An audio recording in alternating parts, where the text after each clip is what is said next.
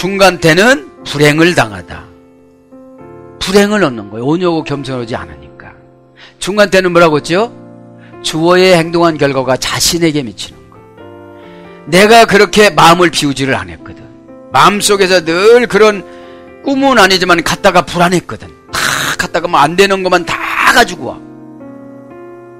안 되는 거 지가 그렇게 안 이루어졌어도 안 되는 걸 가지고 오는 거를 아직까지 불신앙이라고 그래요. 연단을 안 받아서 그래요. 생각하는 대로 환경이 바뀌거든요. 믿음은 생각입니다. 생각이 겸손하고 온유하면 이루어져요. 생각이 교만하면 안 이루어져요. 교만의 주인은 사탄이기 때문에. 그 다음에 경매에 의하여 정해진 상품값. 이게 얻는 거예요. 경매에 의하여 얻어진 상품값. 우리 봉사했습니다. 봉사하면 하나님이 경매 들어가는 거예요. 에? 야, 너 참 이렇게 어려운 일도 입 딱 다물고 참 열심히 하는 거 보니까 너 경매값을 높여줘야 되겠다. 에? 그러면 경매는 예수님이 믿음을 주는 걸 경매라고 그래요. 믿어지지 않는 사람은 추상명사기 때문에 절대로 사기당한다고 그래.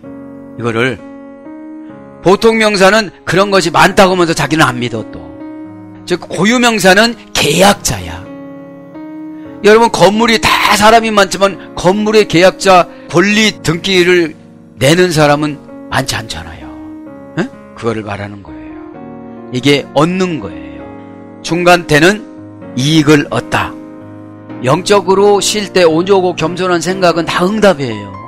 너 이런 거 줘도 배신하지 않겠네? 너 이런 거 줘도 너 교만하지 않겠네? 그럼 주시는 겁니다.